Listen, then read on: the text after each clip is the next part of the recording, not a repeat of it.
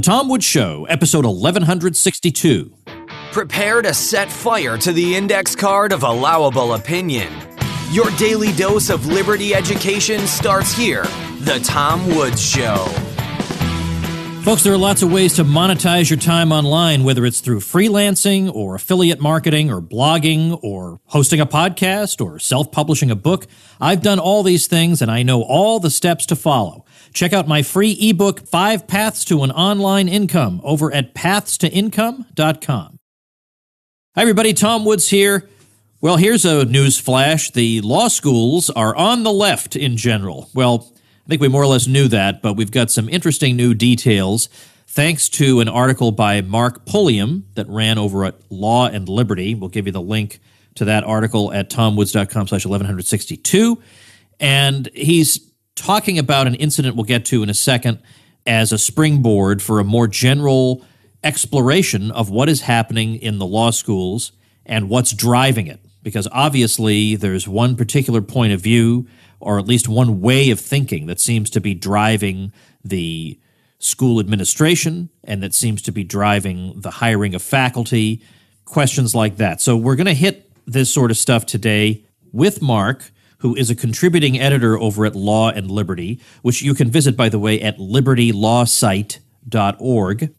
He retired from the partnership Latham and Watkins at the end of 2010 after joining in 1981, where he headed the employment law group in that office. He graduated from the University of Texas Law School in 1980. He's a member of the California Bar and is admitted to practice before the U.S. Court of Appeals for the Ninth Circuit and the U.S. District Courts for the Eastern, Central, and Southern Districts of California. Follow him on Twitter at Misrule of Law. That's pretty good Twitter handle, Misrule of Law. Mark, welcome to the show. Good morning, Tom. I'm linking to your article today on the show notes page that you wrote, uh, I don't know, probably some weeks ago now, that had to do with the ideological composition of law schools. This is something that we more or less know about, but I don't think people realize just how bad it is. And you used as a springboard for that analysis an incident that occurred uh, not too long ago in which you had a, a dean at a law school more or less standing up in defense of the heckler's veto against somebody who had come to give a lecture on, of all things, free speech. Can you fill in the blanks on that episode? Sure. Uh, this was a uh, campus uh, event uh, hosted by the Federalist Society. The law professor who was invited to speak is a young, mild mannered libertarian scholar who teaches at South Texas uh, School of Law. And uh, he has given a talk at a number of law schools on the importance of campus free speech.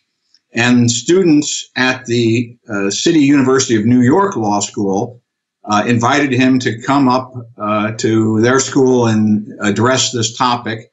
And when he showed up, there was a mob waiting for him uh, that was uh, disruptive, loud, uh, carrying signs, chanting. They were standing up in the front of the classroom where he was intending to deliver his lecture. They were blocking the screen that he intended to use for his PowerPoint presentation. And they were uh, chanting a, a, bunch of uh, slogans. One of them had a, a, a sign uh, to the effect that the First Amendment uh, represents white privilege. And one of them uh, said, and this is a law student, these are law students who are engaged in this dis- disruption, said, F the law. And which was sort of an astonishing thing for somebody going to law school to have contempt for the subject that they're studying. And this went on long enough so that most of the people who came there to hear him left. And uh, it went on for a good 10 minutes before he was allowed to say anything, and it, it sort of hamstrung his presentation. And uh, it attracted a lot of media attention because uh, he took a lot of pictures of it. Part of it was videoed, and it, it went viral because of the irony of uh, somebody uh, being shouted down uh, at a law school trying to talk about the importance of free speech on campus. But the astonishing thing to me, and I was one of the many people who, you know, watched this sort of like you would watch a, a train wreck. It's sort of a, in horror. But then the dean of the law school, instead of coming out and apologizing for the conduct of the students, in effect said uh, they were uh, behaving responsibly, that this was an exercise of their First Amendment rights to uh, engage in the heckler's veto, uh, which I thought just compounded the uh, the foolishness of this of the students' behavior. But the thing that really got my attention as I was uh, reading the various media accounts of this is that uh, it mentioned that this dean, uh, Mary Lu Bilek, is on an ABA site visit team. And I did a little bit further research, and it turns out that she has a long-standing role with the American Bar Association in its section that has responsibility for reviewing accredited law schools because they have to be reviewed every seven years to have their accreditation renewed, and also schools seeking accreditation, which led me to write this piece for Law and Liberty, uh, kind of remarking on the fact that uh, the lunatics are not only running the uh, asylums, they're in charge of licensing them. You then say that you became curious about this, that here you have a publicly funded law school. It's always complaining that it doesn't get enough state funding. Why is it expending its scarce resources on issues like this and, and so called diversity and inclusion as opposed to just let's teach the law? That's the bare minimum reason that we're here. And what you found was that the American Bar Association has made one of the accreditation standards so-called diversity and inclusion, which, as we know, there's there really it's it's a moloch that can never fully be satisfied. You cannot imagine a point at which they say, "All right, we're happy, we've reached our goal, let's everybody pack up and go home." That's just never just never happening. Well, uh, you know, I one of the things I blog about is higher education, and so I spend a fair amount of my time just cruising the internet, looking at university websites, including my alma mater here in Austin, the University of Texas. And one of the things that you'll notice if you go to the trouble of looking is that every university and now every law school in America has a Department of Diversity and Inclusion.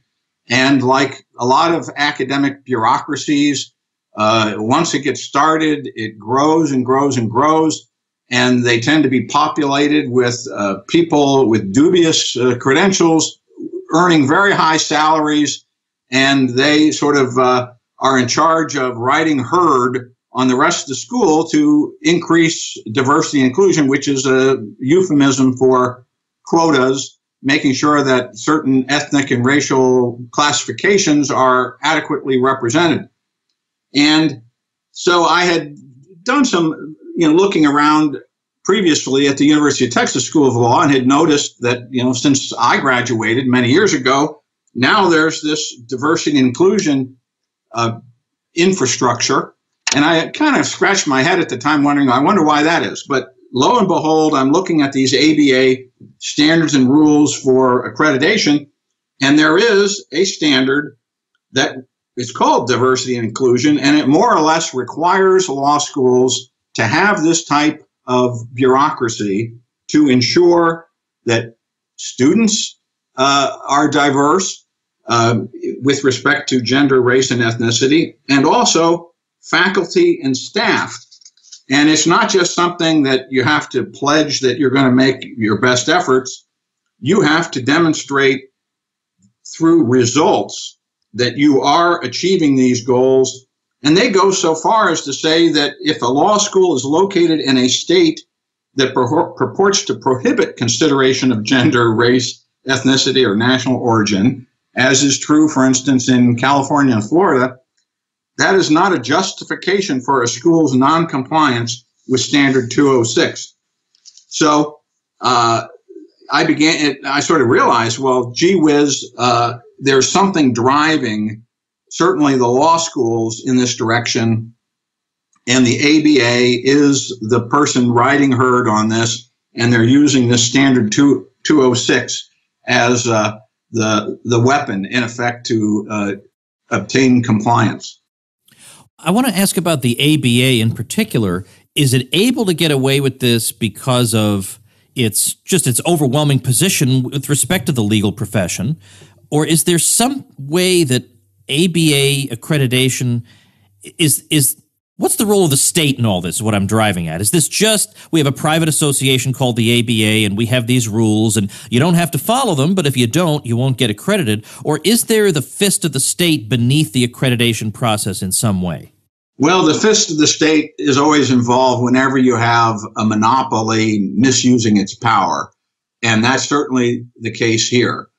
Uh, I think you can look at the ABA and its role in legal education as a, sort of a case study in both interest uh, group politics run amok and also the evil effects of uh, cartelization. Uh, here, the legal profession sort of regulating itself to limit competition and to increase its members' uh, power and uh, the money that they're able to earn.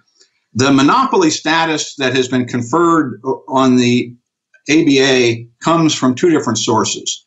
The federal government, through the Department of Education, has made the ABA an official accrediting agency for law schools, which entitles people attending ABA accredited law schools to be eligible for federal financial aid.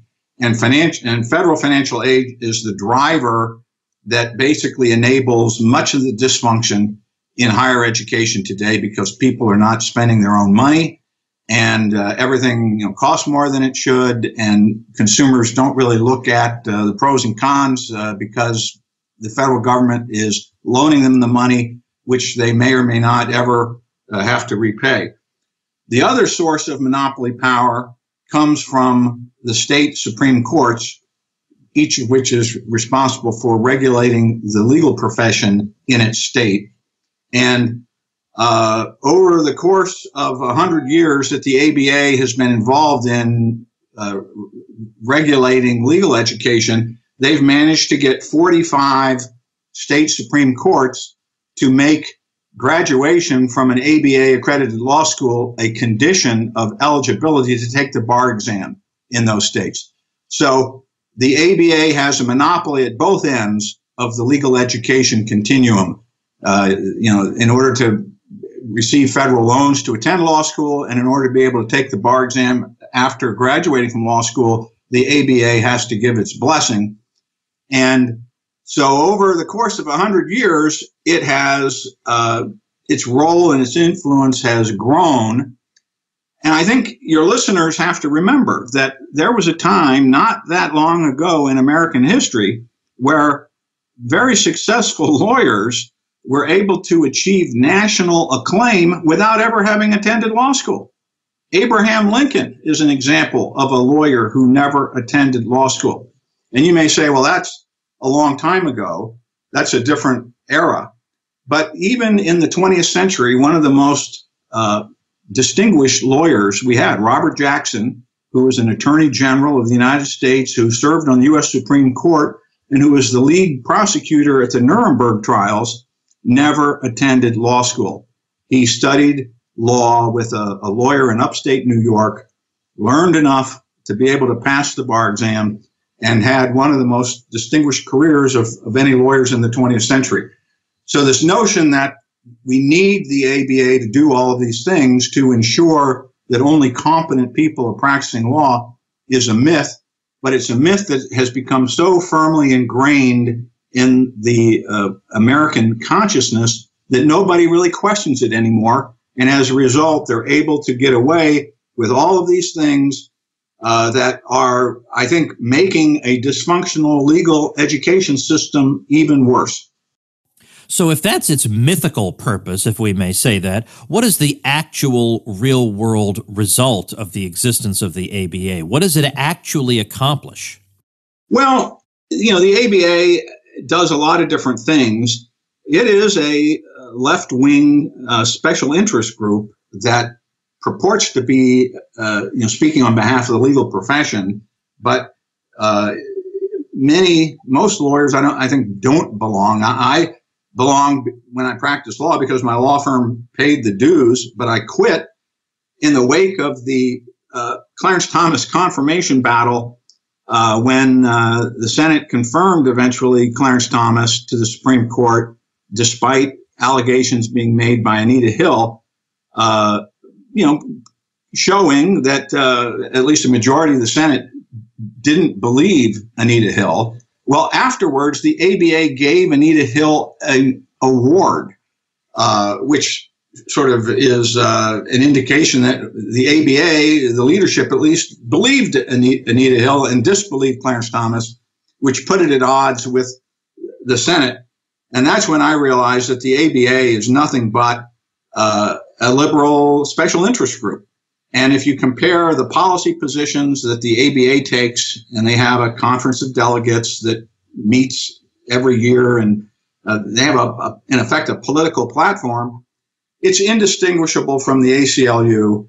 And you know, every controversial legal issue, and some that aren't even legal issues, they're purely political issues, they take the point of view that would be considered, you know, uh, to the left and uh, so not only are they to the left of center of the American public, they're left of the legal profession, and the legal profession as a whole is left of the American public. But that's fine because people can listen to or ignore the ABA as they wish. They can join or refuse to join the ABA as they wish. The other thing that the ABA does is it, from time to time, plays a role in rating uh, the president's judicial nominees to the federal bench. And this becomes particularly important when you have Supreme Court nominations. And some Republican administrations, to their credit, and George W. Bush, one of the courageous things he did was he basically said, I'm not going to pay any attention to your ratings anymore because they're frankly not credible. It used to be that presidents would uh, elect the ABA vet nominees before he made them official uh, and and George W. Bush said, "I'm not I'm not going to do that any longer." But with respect to legal education, I think this is where their uh, their influence is the most nefarious because it is the least visible, and also it has the least to do with their true mission, which is to ensure the integrity of the legal profession.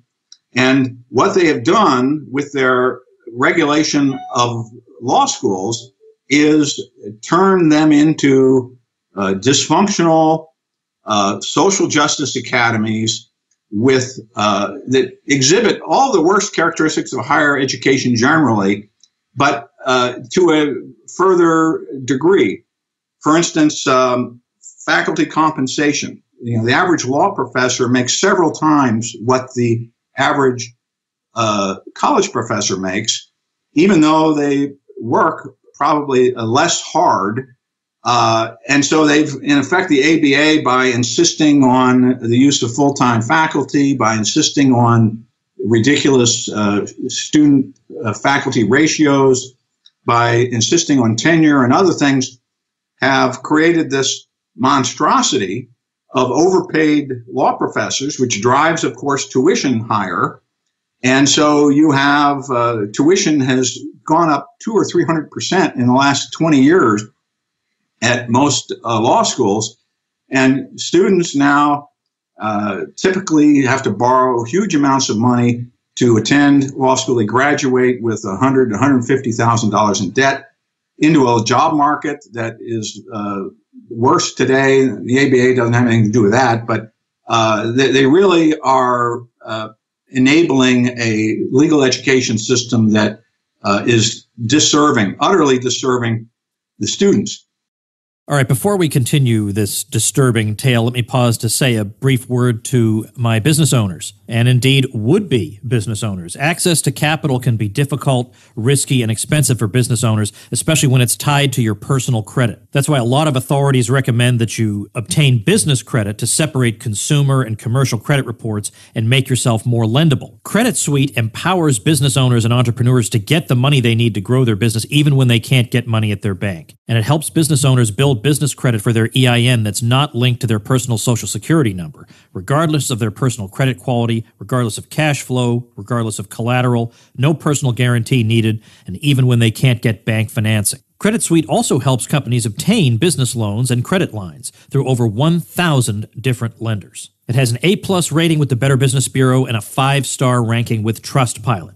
You might be surprised to know that any business can qualify for business credit, even startups, if it follows the proper steps to obtain it.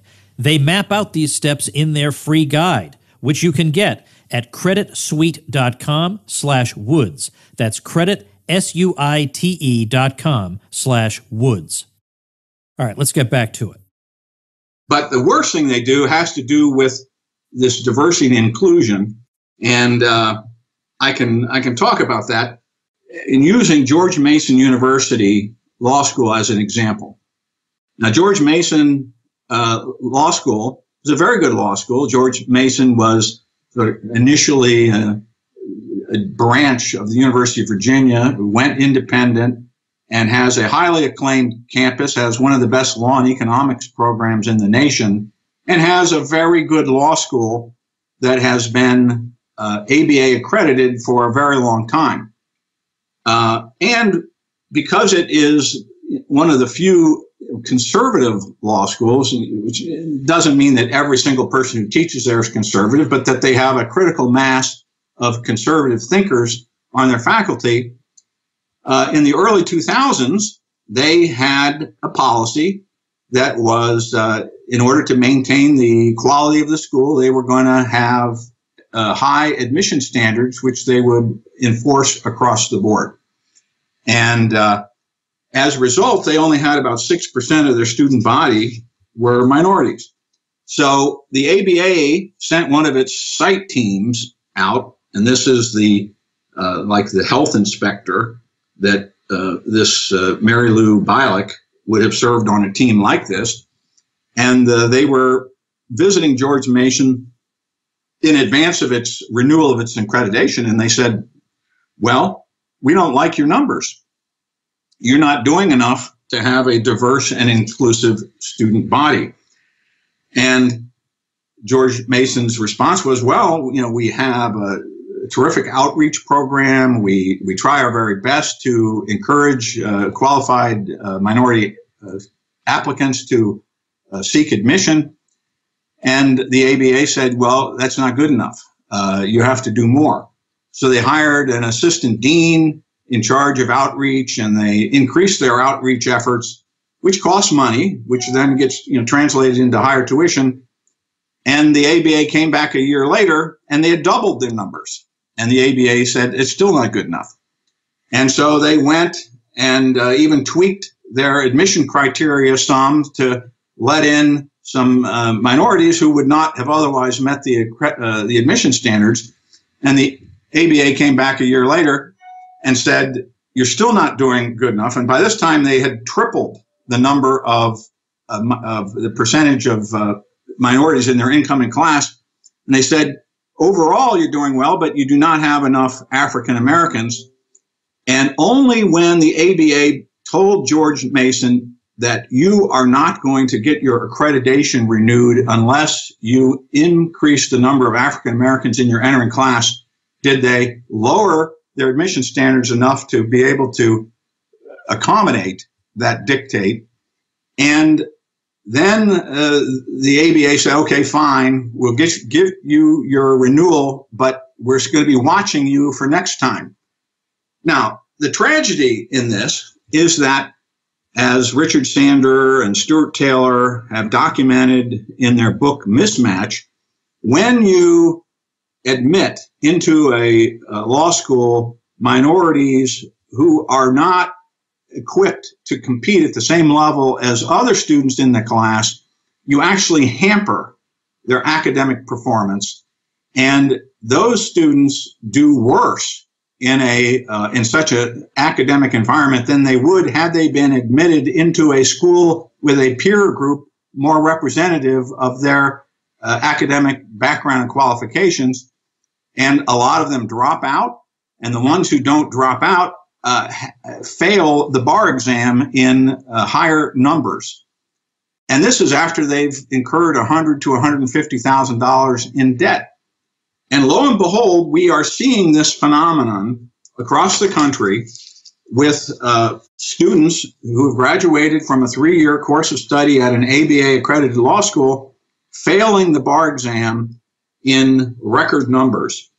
In fact, over the weekend, a news report came out from California that uh, announced the results of the February application of the bar exam in California, only 27.3% of the students who took the bar exam passed it, which was the lowest pass rate in history in California. So uh, instead of improving the quality of legal education, I would submit that the ABA, through these diversity dictates, have actually worsened it and have greatly increased the expense in the process. It's uh, it is a complete failure of regulation.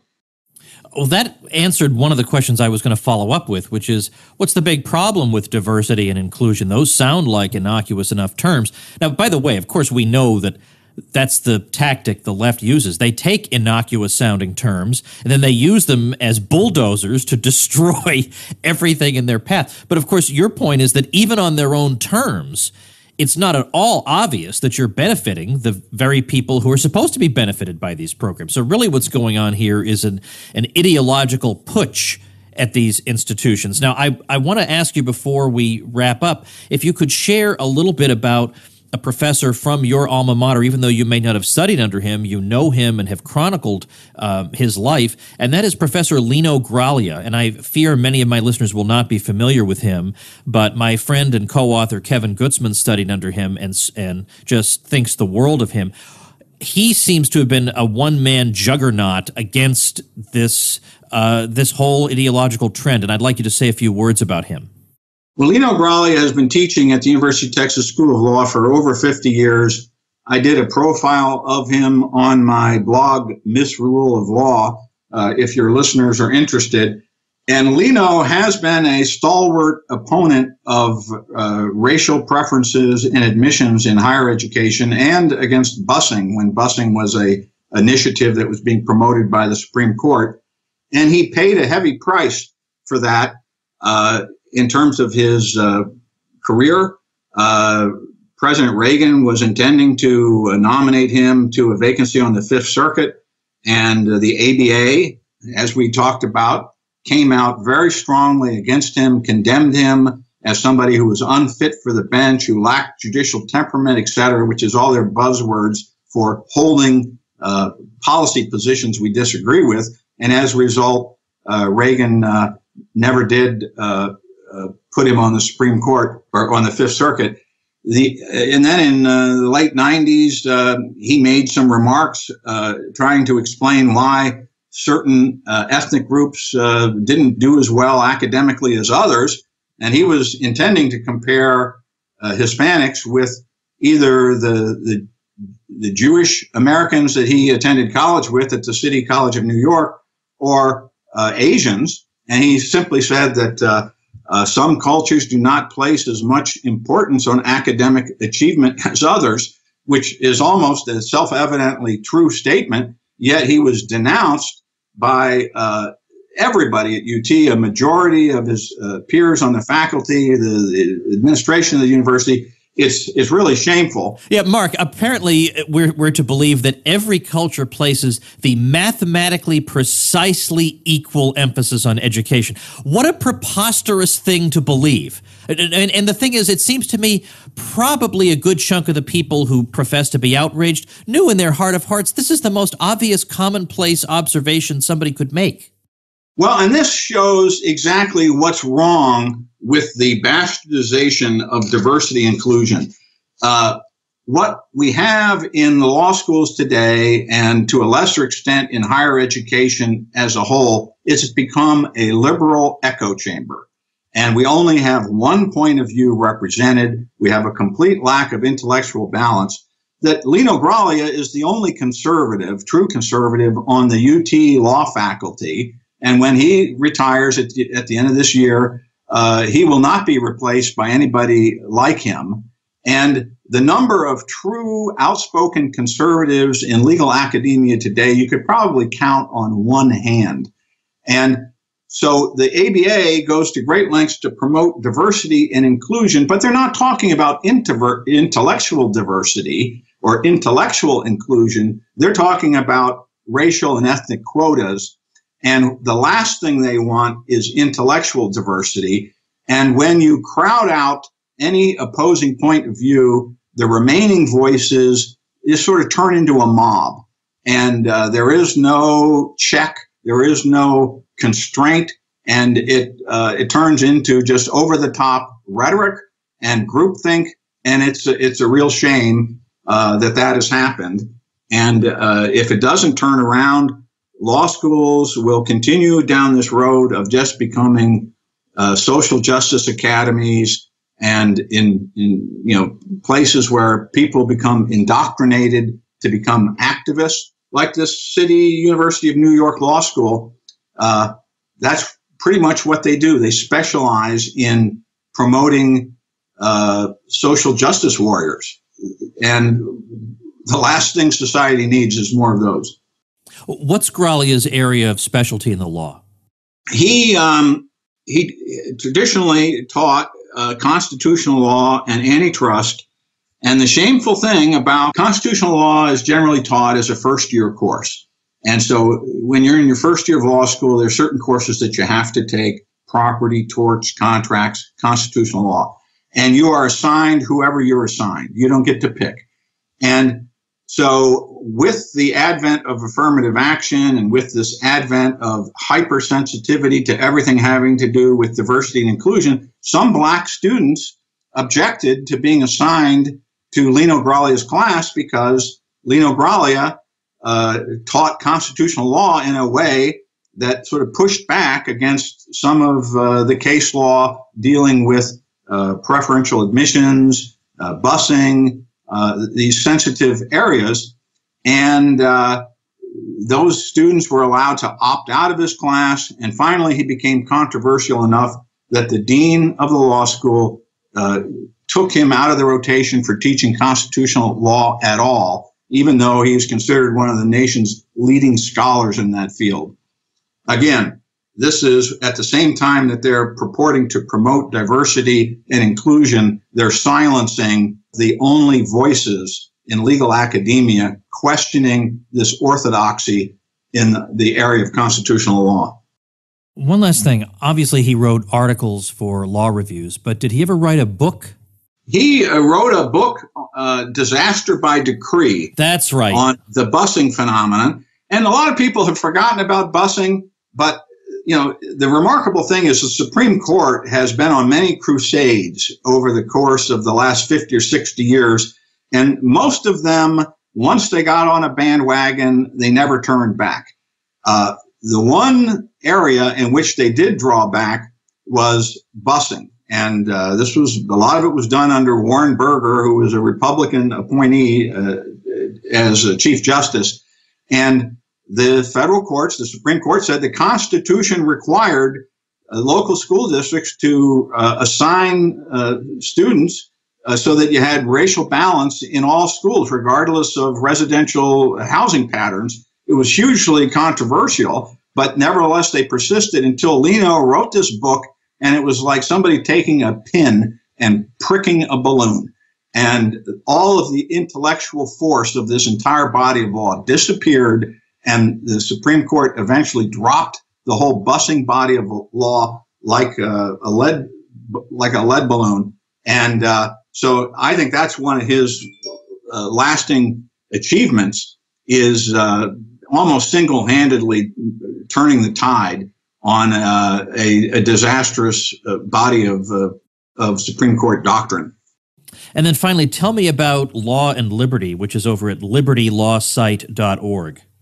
Uh, Law and Liberty is a project of the Liberty Fund, which is a long-standing classical liberal uh, foundation uh, located in the Indianapolis area. Um, and they have a catalog of uh, books devoted to liberty, and they put on academic conferences. And one of the things they've done under uh, the auspices of uh, Richard Reinsch, who's the editor, is they've created this blog where uh, they try to present a version of uh, you know, legal analysis that is free of the left wing groupthink that's so dominant everywhere else. So you have uh, national scholars uh, opining on legal topics uh, and constitutional law topics from uh, a libertarian, a conservative, and a classical liberal point of view. And if you have listeners who um, are uh, amenable to that uh, point of view, uh, I would highly encourage them to read it. There's fresh content there every day, and it's not just about legal analysis. They do occasional movie reviews, stuff dealing with the popular culture. It's it's it's quite an engaging site. Well, I appreciate your time and your important work over there. I'll definitely link to the Law and Liberty work that you guys are doing over at uh, tomwoods.com slash 1162. I'm also going to link to your original article that sparked this whole thing. And you know, sometimes I, I want to check people out before I have them on. So I forwarded you along to um, Kevin Gutzman. I said, Do you know this guy? And he came back with, uh, he agreed with everything you said. And, you know, if, if anything, he's understating how bad it is. I thought, all right, great, great, great. We'll do it. So libertylawsite.org is what all you uh, people interested in the law and its perversion uh, should be checking out. And Mark, thanks so much again. Oh, it was a pleasure. Anytime. All right, everybody, before I let you go, a few things to tell you about. You got to come to New Orleans if you possibly can, June 30th, 2018. And I'm I hate to put some of this stuff on the podcast because after June 30th, this is just wasting everybody's time. But it's so important. This is the Mises Caucus of the Libertarian Party putting on this event during the Libertarian Convention, off site but not very far away, and it's going to have just fantastic people there. Dave Smith, I believe, be the MC. Scott Horton will be speaking. Michael Boldin, I'll be speaking. Jordan Page will be performing. Eric July and BackWordz will be performing. Murray Sabrin will be speaking. It's going to be a smorgasbord of liberty and awesomeness. And it's important for us to get a lot of people there. So if there's any conceivable way you could come to New Orleans on June 30th, carpool, figure out some kind of arrangement, whatever. Uh, obviously, I mean, I can't speak for other people, but I'm certainly not taking a speaking fee for this event. I'm just getting there to uh, support this thing because it's really, really important. So I really would like it if you could possibly be there. June 2nd, remember the Mises Institute's having an event. You can get in for free if you're a supporting listener of the show. So supportinglisteners.com is where to go to become one. And then just drop me a note at bonuses at tomwoods.com if you'd like to go to that event. We got some fun topics coming up this week, including the Spanish American War. So we'll be doing some history and also the Frankfurt School and so called cultural Marxism. We haven't actually done an episode on that. So we're really going to get to the bottom of what that's all about. Lots of fun stuff coming up this week. So make sure you subscribe. Don't just listen to a fleeting episode here and there. Subscribe on iTunes by going to tomwoods.com slash iTunes. See you tomorrow. Become a smarter libertarian in just 30 minutes a day. Visit tomwoods.com to subscribe to the show for free, and we'll see you next time.